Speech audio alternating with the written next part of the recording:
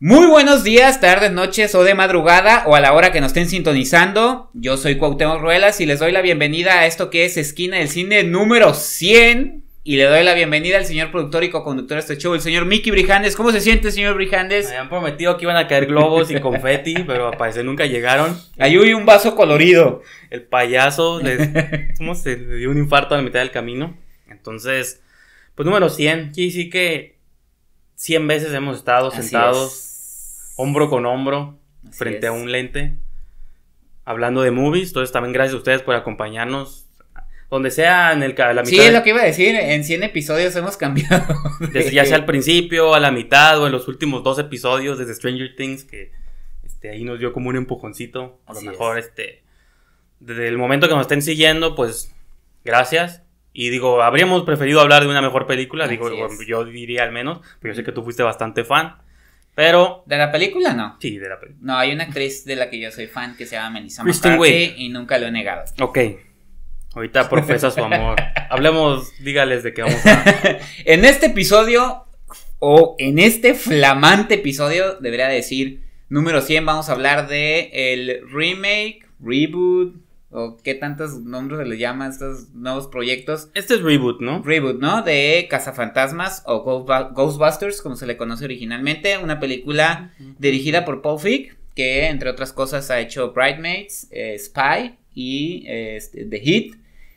Las tres películas protagonizadas, bueno, no, la primera no, pero las otras dos sí, por Melissa McCarthy. Y que ahora nos presentan este nuevo proyecto donde precisamente está Melissa McCarthy, Kristen Wiig, Leslie Jones, Kate McKinnon y hay una actuación en una, eh, eh, en una parte cómica que no le conocíamos a Chris Hemsworth. ¿Es Chris o Liam Hemsworth?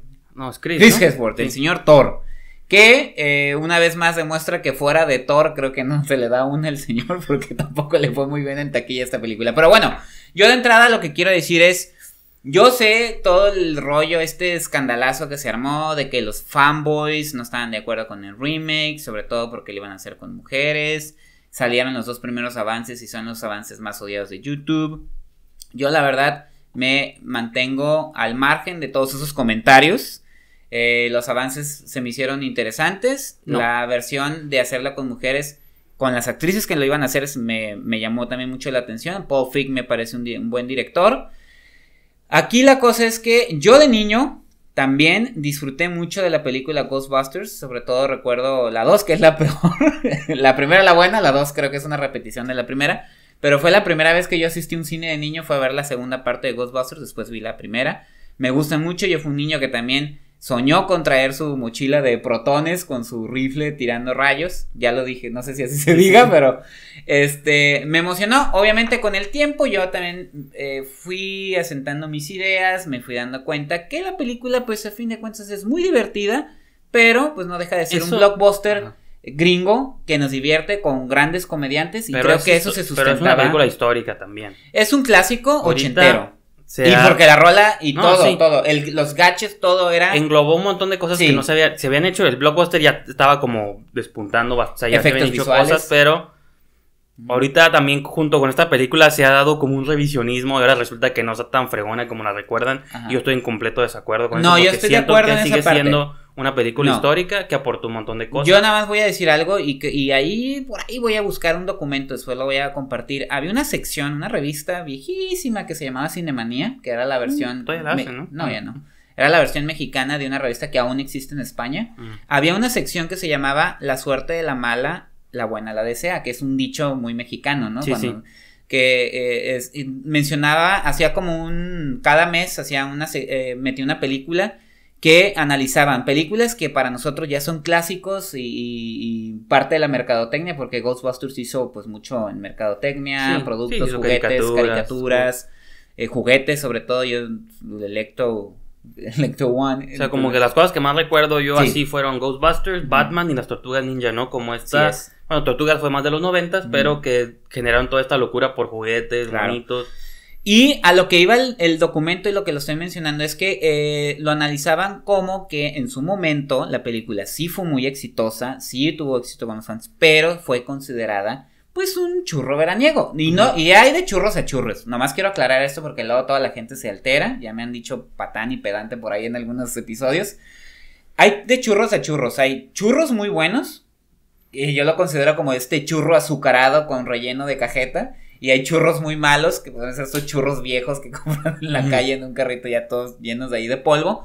Creo que Ghostbusters lo clasificaban como un churro muy exitoso, con actores, y también hay que mencionarlo, que en la actualidad a Bill Murray ya lo vemos como un icono, incluso como actor dramático, pero que en su momento también no era muy apreciado, digamos, era amado y odiado por igual. Sí, pues. No quiero compararlo con Adam Sandler porque desprecio mucho a Adam Sandler. No, sí, pero era la personalidad, ¿no? Era la personalidad, exactamente. Sí, como arrogancia implícita en su. Pero. Que con el tiempo se convirtió en una película de culto y una película taquillera que englobó muchas cosas. Ivan Reitman, hemos descubierto que con el tiempo tampoco es, es este gran director porque no trascendió más que creo que con Ghostbusters. Entonces, pongamos eso sobre la mesa nada más. Sí es un clásico, pero también. Y no es que ahorita queramos decir que era mala y era buena. Era era, eh, fue lo que fue. Y ahora entiendo, trato de comprender a los fanboys no, eh, que, que, se molestan con esta versión. Yo nada más digo, eh, tratando de poner en contexto eso, pero señor Brijandes, cedo los micrófonos para que usted lance todo o desarrolle su punto de vista sobre esta nueva versión, ¿no? Yo siento que lo menos problemático y que también a lo mejor no se entendió, creo que lo menos problemático de este remake o este reboot es que fuera un cast de mujeres. Creo que eso es lo, yo creo que lo de menos y pudo haber sido como hasta incluso lo más interesante.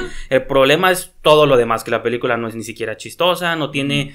Venimos de un Suicide Squad que, que la gente, todo el mundo criticándole como su estructura. Esta película, si algo no tiene su estructura, guion, no, estructura sí tiene. No tiene no sea graciosa. no, pues no tiene nada de estructura, nomás son, parecen sketches extendidos. El sketch donde contratamos al secretario. El sketch donde la comida china llega mal. El sketch pues es como un sketch tras otro. No, la primera tiene una historia sobre cuatro y personajes. Es una historia lineal. No, pero los personajes no sabemos ni quiénes son, ni qué les interesa. Simplemente.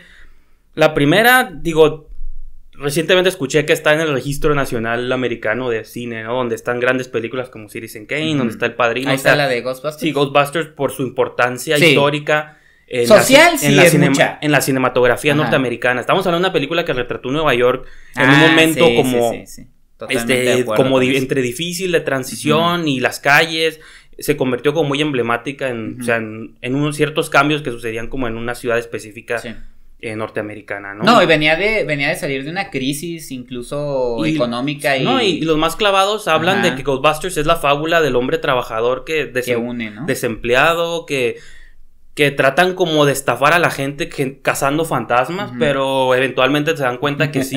Sobre todo el personaje de Bankman, que es este Bill Murray. él no cree nada, desde el principio él está burlándose de... Sí, es medio charlatán. y se mete en eso porque dice, me una manera de hacer dinero, pero... Y cuáles son los promos que hacen, o sea, atrapamos fantasmas. La diferencia es que Egon, este, Dan Aykroyd, todos sí creen en eso. Era Right. Y luego, resulta que si hay un portal y, o sea, es como estos estafadores que por las circunstancias se tuvieron que, o sea, tuvieron que como, aceptar el papel, pues, sí, ¿no? y al final incluso une a los neoyorquinos, sí, esta como eh, concepción de la unidad de, los, ciudadanos. Que se volvería como ya muy relevante en el 9-11, pues, ¿no? Como este idea de un Nueva York unido, entonces se puede hablar muchas cosas de la película, pero yo creo que sí tenía una intención. Ah, no, sí. Yo acepto que sí por eso, marca algo. Yo nomás estoy diciendo que ahorita. Entonces, agarras esa lo como algo sagrado. Pues para mí es algo sagrado y ves y esa propiedad. Creo que con esta versión no haces nada, pues, ¿no? bueno, eso estoy de acuerdo. Y, eso es lo que a mí me molesta. Ni siquiera la idea de, por ejemplo, en la primera, los Ghostbusters eran héroes, pues, eran héroes de la ciudad, de la calle, o sea, se vestían como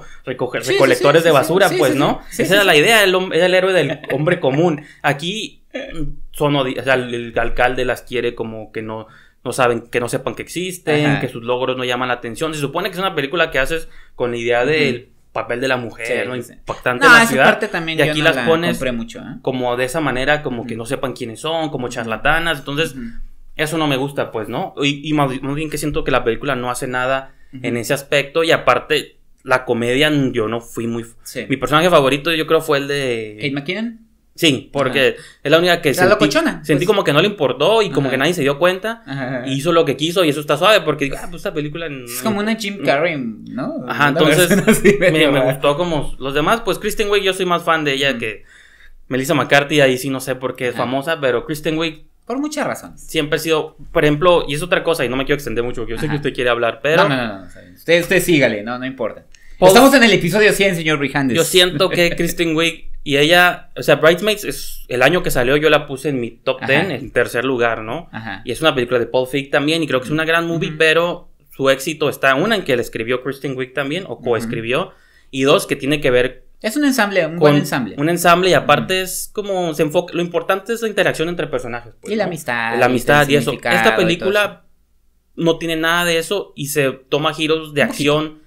Ah, giros de acción extraños y efectos. La, la secuencia final de Ghostbusters, la original, no era una secuencia de acción, era una tenemos que destruir a este mono Gozer porque pues va a acabar pues, con el mundo. chistosa porque toda la secuencia en que van subiendo las escaleras desde y todavía nos falta mucho. Acá esta película cae en el final clásico de secuencia de acción explosivo y colores y y eso no me gusta, pero bueno, puedo seguir diciendo más cosas. Yo estoy estoy totalmente de acuerdo con usted. Tal vez a lo mejor mi nivel de no tengo un nivel de odio. Acepto que la película tiene el gran pecado de Ghostbusters, la, esta nueva versión es que cae en, los mismos errores que caen todos los remakes norteamericanos cuando uno se pregunta, ¿para qué lo hicieron?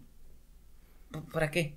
O sea, a mí me divirtió y, nada más quiero aclarar esto. Me gusta el ensamble de actrices, me gusta Melissa McCarthy, me gusta Christine Wiig, Kate McKinnon no había visto mucho de sus, no, yo tampoco. sus rutinas. de Leslie Jones sí había visto más y sí me había agradado. Yo no veo SNL, entonces yo no conozco. O sea, yo ocasionalmente sí lo veo. Sé que ellas vienen de ahí, pero nunca lo había visto. Entonces, bueno, Melissa McCarthy. Esta es como mi primera este, referencia. Eh, Melissa McCarthy no viene de ahí. No, no, pero yo hablo ah, de Leslie Jones y, Kate, y, Kate McKinnon, ¿no? Que, bueno, Kristen Wiig ya la hemos visto en movies, pero digo, ellas dos que yo no las había visto nada antes. Esta es mi primera ah, referencia. Y, o sea, el problema, te digo, para mí el lo menos problemático es que sean ellas o que sean mujeres. Creo que eso es lo de menos. Ah, no, sí, no. El problema es el guion, la historia, ahorita la vamos, a, vamos a hablar de la película como tal y eso es a lo que voy. Su gran pecado es, es el mismo que cometen todos los remakes cuando uno se pregunta y por qué casi siempre caemos en este juego de por qué no nos gustan los remakes. Por esta razón, de que no aportan absolutamente nada. Se sustentan en dos cosas, en ser medianamente divertida o entretenida y en el talento de sus actrices, que para mí es mucho y creo que no hay nada más. A mí me divirtió, sí me hizo reír, pero eso no la justifica en el sentido de que la considere yo una película que se tenga que ver a fuerza. Creo que divierte en las dos horas, pero no va a ah. trascender saliendo de la sala de cine. Eso es lo que yo quiero decir. Me gustó el trabajo de ellas. Estoy de acuerdo, los efectos visuales son divertidos hasta cierto punto, pero también caen en lo caricaturesco.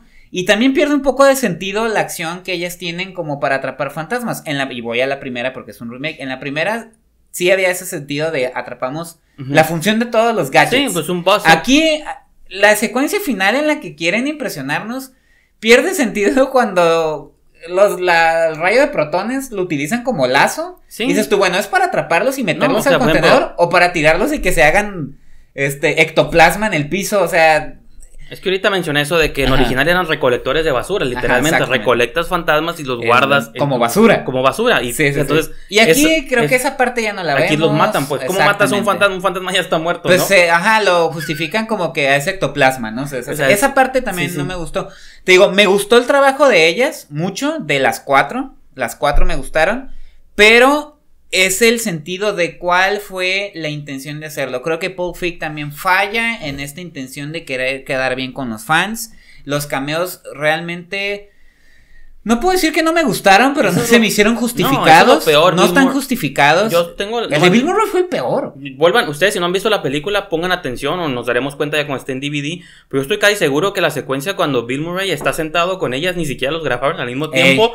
porque nunca los ves al mismo él está sentado en una silla así como yo, hablando, luego las ves a ellas hablándole a alguien, y luego lo ves a él. Nunca lo ves como, creo yo, en la misma escena. Entonces, hasta se me hace que. Yo, yo digo que aquí, ya ves que siempre hablamos cuando se hacen por intenciones mercenarias, ¿no? Sí. Creo que aquí ni siquiera la intención mercenaria es nomás la intención del queda bien.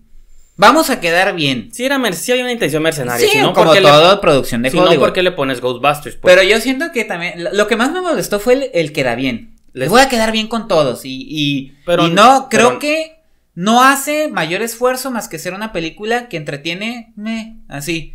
Y me, me molesta un poquito, y no, yo no tengo tanto hate como usted. Me molesta que tengan. Y venimos otra vez con el con la situación esta de Escuadrón Suicida, ¿no? Tienes tienes, y hay una analogía que, que me gustó, que empezamos a, utilizar con algunos otros usuarios en redes sociales con el deporte, ¿no? En mi caso, que me gusta el fútbol, soccer, eh, cuando tienes un super, un super equipo con grandes jugadores y nada más te conformas con jugar al contragolpe o jugar al empate, nada más para sacar el puntito y pasar a playoff. Aquí siento que pasa más o menos lo mismo, es, tengo estos grandes comediantes, pero ni más ni menos, mm. ahí nos vamos a quedar. O sea, ni, no es ni un bodrio, ni tampoco es magnífica, y creo que tenía más elementos. Y lo que quería mencionar, a mí también me afectó un poquito, hace, eh, no hace mucho tiempo platicábamos eh, sobre un pitch eh, que había lanzado Max Landis, ah, este guionista de, de, Chronicle, este, y otras películas que ya... Pues Victor Frankenstein. Sí, pero que ya, ya en el proceso se pierden. Max Landis había, había lanzado un pitch sobre una, eh, una propuesta inicial para hacer una secuela directa de la cinta ochentera con los actores pues es que muchos Dan Aykroyd, Ernie Hudson, Bill Murray. Pero eh, al, yo saber que existía ese pitch donde la relación, la conexión era directa, había más emotividad, incluso había ingenio en la conexión con algunos personajes, uno se pregunta, pues eso sería, hubiera sido más interesante que simple, simplemente hacer una película con la que quieren quedar bien por ejemplo, Yo pienso mucho, y digo, a mí me encantó la de Star Wars, digo, obviamente la de Star Wars, El despertar de la fuerza, Ajá. donde, ok, estás en esta disyuntiva, quiero hacer un cine para la nueva generación, pero también no quiero como, este, quiero como seguir con los, o sea, los viejos, ¿no? Los clásicos. Sí, o sea, no traicionar a los viejos y este entonces, atraer a los jóvenes. Sí, entonces Star Wars lo que hizo es, ok, vamos a meter nuevos personajes, metes a Rey, metes a Finn, pero también traes a Han Solo de vuelta, traes a Leia, entonces, y el Luke, ahí viene la que entonces, ahí quedas bien con todos, y aparte es una película bien hecha, pues Ghostbusters, el lo único que tenía como para salvarse, ok, vamos a meter a los clásicos, aunque no salgan tanto, o pasen, pasen ahí como la batuta, por así decirlo, y ni siquiera se les ocurre, ni siquiera se fueron por esa ruta, y eso creo que fue el error principal de Ghostbusters, y por eso, sí, puede que haya una niña de 7 años que vea esta película y le guste, ¿no? Pero era obvio que ibas a perder a todo este público pasado. Y, y creo que se perdió. O sea, hay, también dudo eso, porque aquí, tú ahorita mencionas Suicide Squad, yo la voy a defender otra vez, pero pues ahorita acabamos de ver que dos semanas consecutivas, primer lugar de taquilla. Ghostbusters, no sé si la semana que salió fue bueno, ya primer lugar. No, ya sabemos que eh, se considera incluso una pérdida. Todo para punta. Sí, porque no nomás... Para la película, perdón, para la casa productora. Sí, porque una película, por ejemplo, escuchamos que cuesta 150 millones, ¿no? O 200. Y si hace más de 200 en taquilla, dice, bueno, ya recuperó. Pero acuérdense que ahí la tirada es duplicar, triplicar. Y aparte, algo que no viene en el budget es la. ¿Cómo dice? La mercancía. Este, no, la comercialización, ah, pues. los promos, este. La, publicidad, los pósters. No, la, publicidad, pues, ah, más que nada la mercadotecnia, pues esos son los otros. Comerciales, los Dicen que muchas veces son casi igual o más del presupuesto. Entonces todo eso ya, o sea, no por eso las secuelas posiblemente no suceda, pues no. No, yo escuché que, bueno, va a haber pérdidas para la película, digo, para la casa, pero vuelvo a decir lo mismo, ¿no? Para la casa productora, que ya no se tienen intención de seguir, porque hay, ahí hay una línea que sugiere una secuela, que ya no hay intenciones, que probablemente se trabaje en una animación. Entonces, por eso, yo sé, y siempre lo hemos dicho aquí, el hubiera no existe. pero cuando pasan estas cosas, a mí me gustaría imaginar que en algún futuro se pudiera realizar ese pitch de Max Landis. No, y bueno. En el que utilizaran eso. Digo, Hollywood, en Hollywood todo es posible. Me acuerdo mucho del Exorcista. cuando, la que hizo, que la estaba haciendo Paul Schrader, que se la quitaron, la terminó haciendo Ronnie Harlem. Fue un fracaso y después salió la Paul Schrader, que también fue un fracaso. pero bueno, en ese mundo de Hollywood, a mí me gustaría imaginar que en un futuro, espero que no sea muy lejano, el pitch de Max Landis volviera a tomar fuerza y se pudiera realizar. Yo me atrevería a decir que lo mejor Paul Feig no fue el director. Si, la, si querían hacer una película de acción, o sea, porque eso hubiera sido tal vez diferente a la original. La original no era de acción. era más como hasta de terror, ¿no? Porque yo recuerdo la secuencia inicial, de, la librería, pues, ¿no? que aquí quisiéramos repetir eso, pero ya muy bobo. Y, o sea, la original sí te, sí te metía así como los libros moviéndose, la baba, o sea, como todos elementos estaban sola señora, ¿no? Ahí, ¿qué, ¿qué, está pasando? Acá ya lo hicieron como chistoso, ¿no? Y ya lo veíamos venir, ya sabíamos que iba a salir un fantasma. Entonces, este, a lo mejor. Es que ese, es el problema porque yo digo, cuando pasa esto. Repito, Bridesmaids me gusta y a lo mejor Paul Feig es buen director así de comedias sencillas. Híjole. para porque la secuencia de, acción. no es muy buena. La secuencia de acción quizá la hizo un segunda unidad o alguien así, o a lo mejor ni siquiera él estuvo más que ahí tomando. Pero también se, nota como cierta torpeza, ¿no? Sí. Para hacer secuencia de acción. Digo, a lo mejor hubieran puesto como a otro director, pues, ¿no? Entonces, a lo mejor también todo tiene que ver con eso, ¿no? Pues sí. Porque las, él deja que las chicas en los diálogos se extiendan, improvisen, todo eso. Y sí, puede estar muy suave en otra movie, pero aquí yo siento que. Habrá que ver qué pasa con Feig porque The Hit no me pareció una buena película, que es con Melissa McCarthy y Sandra Bullock, que también se sostiene mucho en el. pues yo vi Spy y esa no me Spy, ajá, lo que te decía, Spy, pero tampoco es la gran película. No, pero era una película normal, o sea, Sí, que explota el talento de los de Ross Byrne, de Melissa McCarthy. Está Jude Law sale por ah, ahí. Jude Law, ajá. James Bond, ¿no? Sí, James Bond. bastante chistosa, pero te digo, pues al, todo indica e independientemente de lo que suceda aquí en México, porque luego eh, estas casas productoras esperan los mercados externos para ver si se salvan. En China ya no se va a presentar por una cuestión ahí trabaja temáticas culturales ocultas. Sí, por una cuestión cultural. entonces China ya no va a salir, va a salir al quite. En México no sabemos qué vaya a pasar. No dudo que aquí estén primero, pues pero como está, Suicide, como está Suicide Squad, a lo mejor se relega segundo o tercero, ¿no? Así es. Entonces, ¿qué calificación le da entonces finalmente a Ghostbusters Cazafantasmas de Paul Feig? Le doy un 3. 3 de 10. 3 de 10, exacto. Yo le doy 7. Porque sí me reí tres veces, las tres veces fueron por Kate McKinnon, entonces... Ajá. No, yo sí le doy un 7. Le doy un 7. Eh, creo que el trabajo de. Yo por el trabajo de las cuatro actrices, me, hasta Leslie Jones, y me pareció muy mesurada y muy, muy, muy divertida. 3 y estoy siendo buena onda. Ok. 3 de 10, 7 de 10. Entonces, esos son nuestros comentarios, señor Rijandes, de Ghostbusters, que son fantasmas de Paul Feig, este remake. Nos despedimos, no sin antes invitarlos a que ingresen a nuestras redes sociales, principalmente facebook.com diagonal esquina del cine. ¿Dónde lo pueden encontrar usted, señor Brijandes? me pueden encontrar en Twitter y en Instagram, arroba Brijandes. Y a mí en Twitter, en arroba esquina del cine. ¿Y dónde más nos pueden ver, señor Brijandes? Pues los invitamos a que se suscriban a Telenú.tv. Telenú.tv es una plataforma de distribución en línea donde pueden ver este, series web, videoblogs, un montón de contenido digital. Ahí pueden encontrar toda nuestra cuarta temporada Estamos sacando un nuevo show que se llama Conciertos y Vinilos y pues próximamente van a ver muchas cosas más. La familia Telenú sigue creciendo, así que con esto nos despedimos señor Brijandes. Hasta la próxima. Bye.